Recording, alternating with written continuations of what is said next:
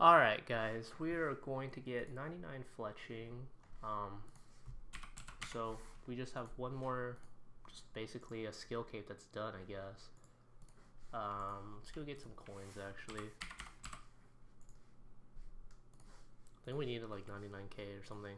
So we're actually 43 experience away. I think that's like two willow longbows. Yeah, two willow longbows. Oh shoot. I thought I had this set to one. That's fine. Just craft one more and then that'll get us 99 right there. Um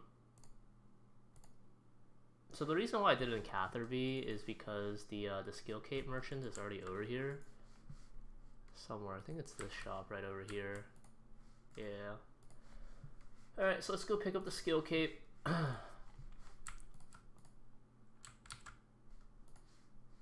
I mean, honestly, like in my opinion, I'm not a huge fan of the fletching skill cape. I think it's actually like pretty underwhelming.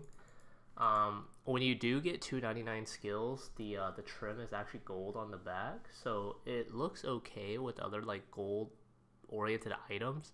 So you can use that with any armor that has like a gold trim, or you can use it with like full guild and stuff like that. But honestly, though, like Fletching is arguably one of the easiest 99s to get. I just simply wanted to like get it out of the way and also like inflates my stats a little bit. So I don't know. I'm still a fan of the quest cape though. I think the quest cape looks a lot better, but that's gonna be that. I'm not really sure what uh, skill I'm gonna work on next. Could be fire making, but right now, believe it or not, I'm actually kind of leaning towards agility. Like I can get my smithing to like 72, 73, boost it up, finish uh, Kandarin um, Hard Diaries. So I can unlock the teleport from Camelot to Seers Bank instead and just train agility like 99. I don't know if I want to do that though. Um, might actually just go for like 99 fishing since it's more AFK and then I can just work on schoolwork.